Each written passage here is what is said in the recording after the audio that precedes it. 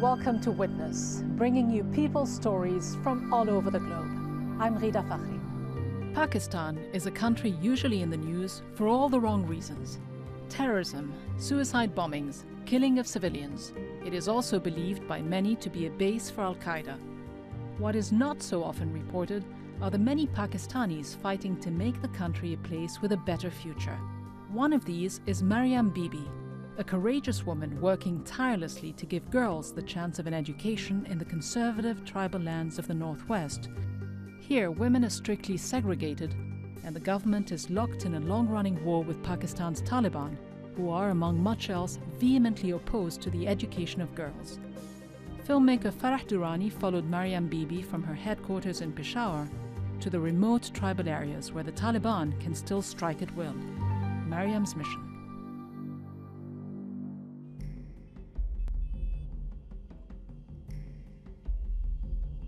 Bismillahirrahmanirrahim. In the name of God, this is a warning to you NGOs that you stop these disgusting activities. We know the addresses of all the women who work for you. Stop this work by Friday or you will be responsible for the consequences. Hello, this is Maryam Bibi. You remember the demonstration? Please do come. Only if it is for five minutes, please do come. Don't forget. This is just a reminder. For years, Maryam Bibi has campaigned for girls' education through her NGO Khwendo Kor. Today, she also feels driven to lead peace marches against the Taliban terror, which is targeting civilians and burning schools. But we will try to visit at least two or three places where bomb blasts have uh, taken place just to show solidarity. Have to give strength to others who have directly suffered. We don't know about our life, uh, what, what can happen tomorrow.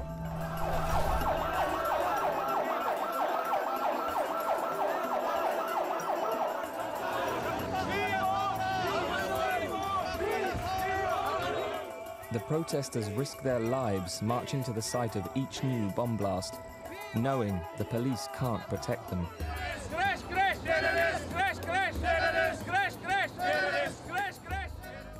Everybody gathers at the Peshawar Press Club to march to the market where so many were killed.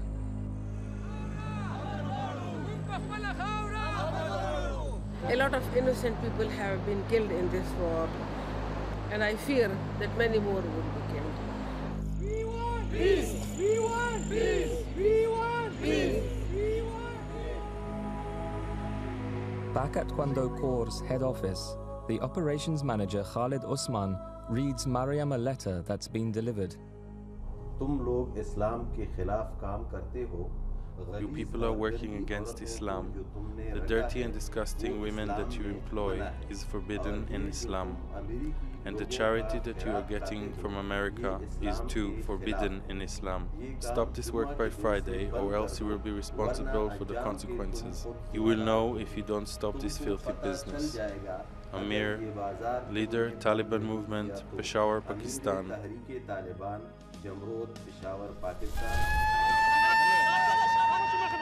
After our uh, procession, within three days there was a bomb blast. The press club was attacked because it was becoming symbol of a peace movement.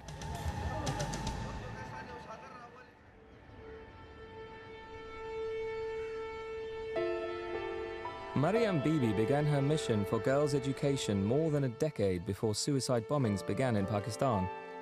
She set up Khwendo Kor, meaning Sister's Home, in 1993, motivated by her own experience of childhood and marriage in tribal society.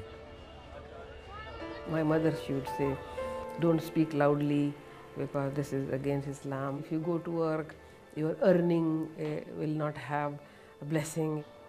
When I got married, I had uh, extremely difficult time because my husband was uh, mentally not well.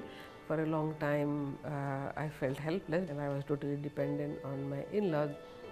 And I started reading more and more about uh, Islam myself, and a lot of things started coming, becoming clear to me, and uh, that gave me strength also.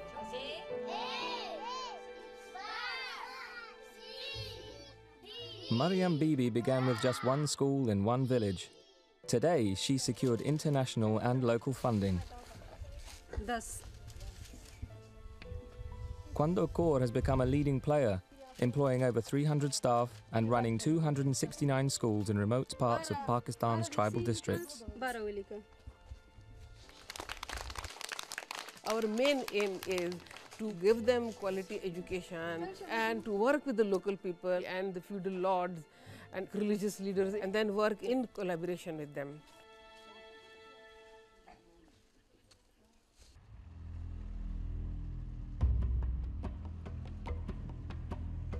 Keeping up these community links means a lot of travel. Today, it's Karak, four hours drive from Peshawar to renew community contacts and support the staff in the regional office. Since Pakistan sided with America in its war with the Taliban and Al Qaeda, the threat to Maryam Bibi and her staff has increased. NGOs are facing a problem because NGOs are dependent on foreign aid and we are seen as we are working for Western agenda, which is not true. Earlier this year, a bomb was found in the courtyard of the Karak office. Then, a driver was shot at. But it was what happened to one of the staff, called Kulsum, and her driver, that left all the staff feeling vulnerable.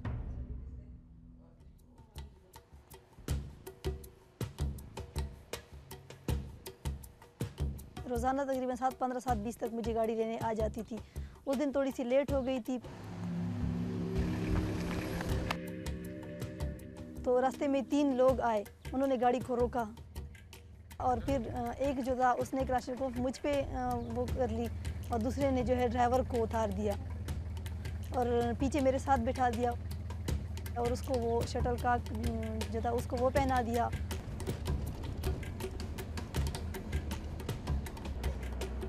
The kidnappers then left the main road, and for hours, Kulsum and her driver were driven around the side streets of Karak. उन्होंने कह भी दिया कि हम तालिबान हैं रास्ते में वो मुझे कह रहे थे कि आप लोग ये काम ना करो और ये आप लोग जो है बेदीनी फैला रहे हैं इस्लाम को हटा रहे हैं तो मैंने उनसे कहा है कि इस्लाम में ये कहाँ पे लिखा हुआ है कि आप इस तरह किसी को तकलीफ़ दो जिस तरह आप हमें दे रहे हैं After four hours of driving, Kulsum was told to get out of the car, head straight to her office, and contact no one along the way. The kidnappers then demanded a ransom of two and a half million rupees for the driver. Then, after a month of negotiation, the driver was released without any payment. The police are still investigating. The driver has now left us, but at that time it was terrible. The government agencies, they wanted us to close office instead of supporting us. But we decided that we will never close the office. I was so impressed the courage the staff showed.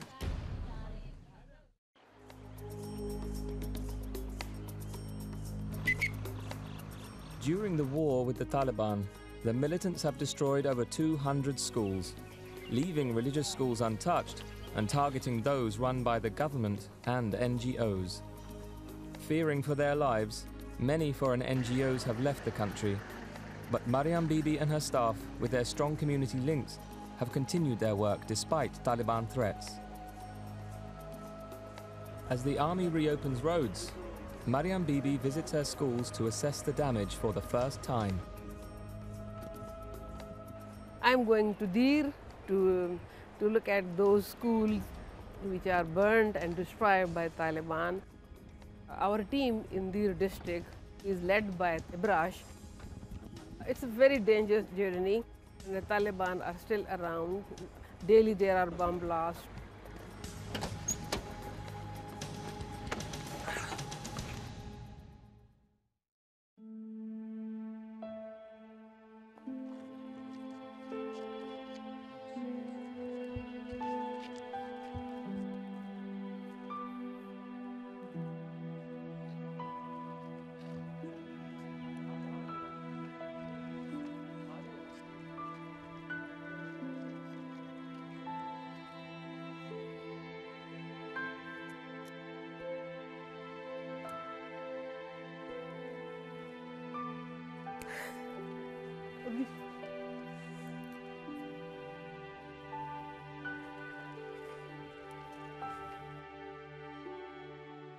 The whole thing is uh, political, to get power, to deceive ordinary people, that it is done in the name of religion. There are schools that belongs to a religious political party is not even touched, whereas government school and other school are destroyed. Look, someone has very proudly written, uh, this is our school, Allah Nigeban. We give it in the custody of Allah. How are they going to be accountable for this in front of God or Allah? They have done this in the name of Islam, and I think they have destroyed Islam by doing this. This is Chinarkot village, and uh, we are standing in the government girls primary school. It's very cold, and the girls they are now sitting in the open air. We are uh, constructing these steel structures for the tents, and uh, we will start our schools again. While Ibrash Pasha and the local villagers get to work erecting frames for tents, Maryam Bibi talks to the village elders. The military operation was going over here the Taliban They were confronting the government. In this little village, four schools have been burnt. So what kind of message they wanted to give by burning girls' school? What was the message? Well, well for me, the obvious message is to punish my village, that they should, they uh, should not get uh, any more education from here.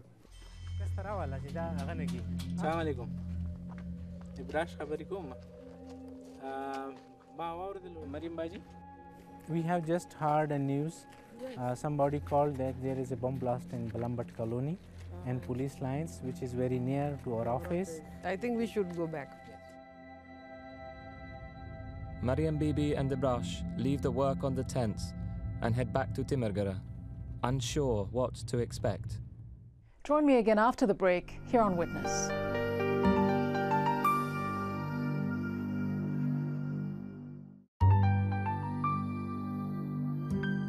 Welcome back to Witness. I'm Rida Fakhri. Maryam Bibi is determined that Pakistani girls in the conservative tribal areas should get an education. But a bomb blast near the organization's offices poses the latest threat to her mission. Maryam Bibi and her colleague Ibrash Pasha from the charity Khwendo Kor are driving to Timergara, the main town in the northern tribal district of Dir. They've just heard that there's been a bomb blast near their office. Security is tight as they arrive.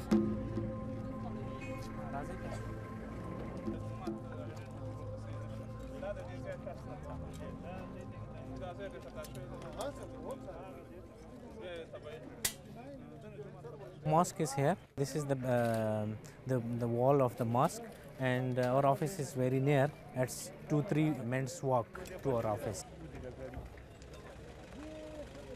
मस्जिद में अंदर थे। आवाज़ सुनाई के बाद हम ज़मीन पर लेटे और लोग एकदम इकट्ठे होकर बाहर निकल भागने लगे। जब बाहर निकला है तो देखा तो सब लोग जो है ना किसी पे आग लगी थी और कोई किसी का आँख नहीं था किसी का सर नहीं था किसी का टांग नहीं था किसी का हाथ नहीं था। तो हमें भी मौका मिला एक ज़ख्मी को उठा के लेके गया। तो वो अस्पताल में चल बसा। They are still investigating, but they are thinking that it was remote control bomb blast and fixed in a car, which was blown.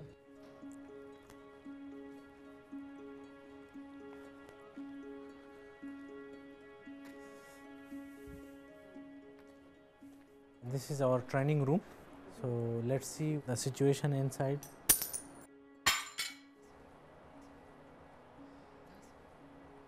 Thank God office is okay uh, and it's nothing as compared to innocent people going to mosque and being killed.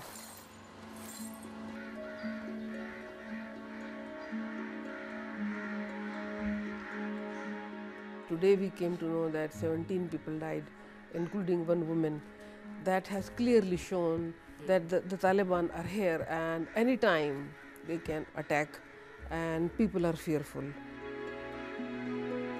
security is an issue, but we won't be discouraged by it and that we will keep on making our efforts. We have to go and we have to finish our job.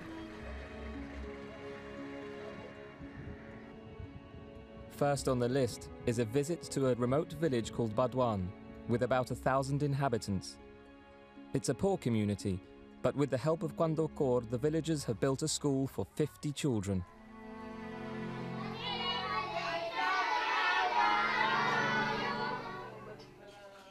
We are running this school since last uh, seven, eight years. The girls especially, they were uh, deprived of getting education and we have provided this opportunity up to grade 5th. And uh, we are also trying to uh, upgrade this school up to middle level, up to class 8.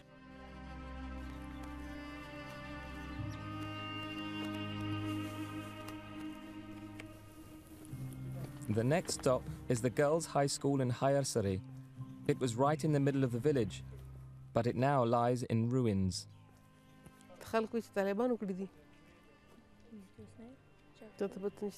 She's saying they were not around when uh, this military operation started, so they had vacated their village. Uh, when they came back, the school was destroyed, so they were in shock. And uh, the school had huge corridors and everything was destroyed within one night. And she said, I, I don't know who did it. I asked, Do you think it, uh, Taliban did it? She said, I don't know, I can't say anything. Hmm.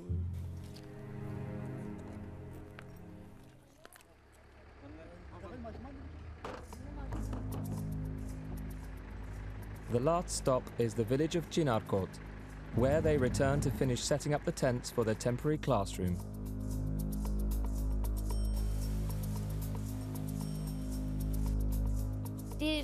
का school जल गया। इसलिए हम बहुत उदास थे। हमने कहा कि तालिबान ने हमारे साथ बहुत बुरा किया और उसे अल्लाह ही सजा दे। हम सोचते हैं कि ये हमारी क्लासरूम बहुत ख़राब हुई। हम अपनी क्लासरूम को फिर ठीक करना चाहते हैं। हमने कितनी देर से कितनी मेहनत से उसने बनाया और तालिबान ने एक सेकंड भी नहीं लगाई जब इसे जलाया।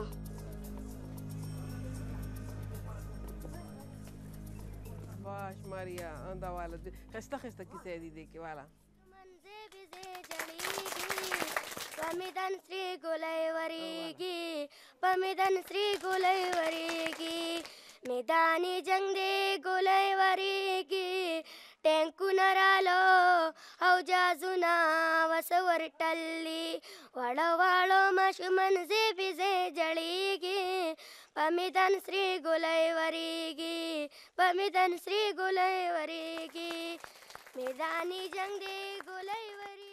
such a big relief that we could do something. We know the journey is long and hard but this is the first step. No matter what you can't reach women. It's so deeply entrenched in the culture that women should be segregated. That segregation still affects Maryam Bibi in her work as chief executive of Khwendo Kor. It colors everything. We are the men and we can go outside and eat in the restaurant. Due to the cultural constraint, we sent the food for her to the van. I feel that I am very lonely uh, in doing this work. I have heard many remarks. Look at this elderly lady, and she is not ashamed of herself. I would like other elderly women to join because it's matter of their children, it's matter of future generation, and we have to do something.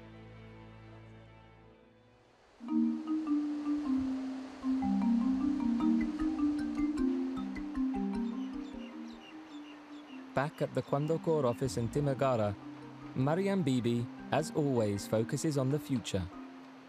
She's asked Salim ul Rahman, a clinical psychologist, to assess how the children have been affected by the fighting. To start his assessment, he gives the children pictures and asks them to write down their impressions. This is just a, a picture of a man, common labor man of this area. This picture is uh, a picture in which uh, two children are sitting on a bench and one man is lying beneath a tree and we have to see what our children think about and what is in their mind.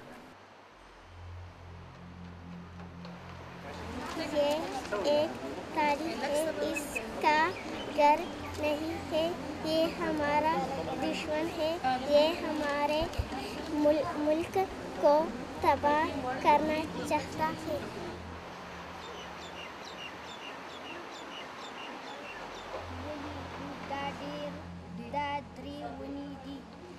She's saying this man is very, very upset. She, he's very sad uh, because he has severe headache. And why he has headache? Because his daughter has died. एक लड़का है इसका नाम अली है इसके हाथ में बम है ये एक बदमा, बदमाश लड़का है उसका शक्ल डाकू जीता है जैसा है ये एक गेट के करीब बैठ रहे हैं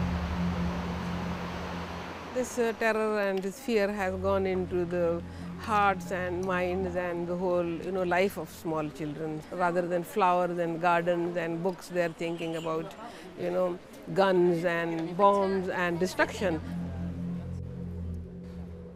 So far, we have concluded out of 35 students, 30 students are suffering from uh, depression, anxiety, and post-traumatic stress disorder. They have mentioned that in this picture, they saw terrorist, Talib, destroyed home, destroyed school, having no teacher and uh, no furniture in their school.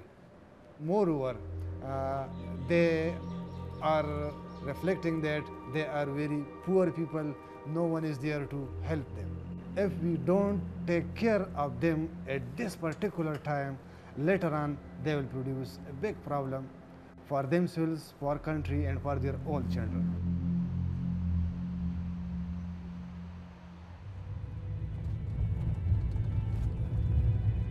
But Maryam's mission to educate is under attack, and on the road home, she has to make a stop. Yesterday, two schools have been uh, burnt again. It, it is a big shock.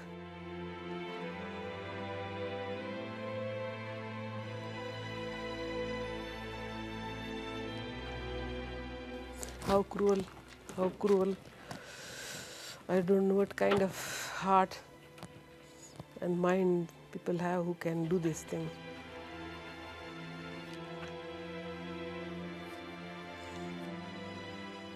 It shows that government alone cannot do it. We uh, have to struggle more and that everyone has to join.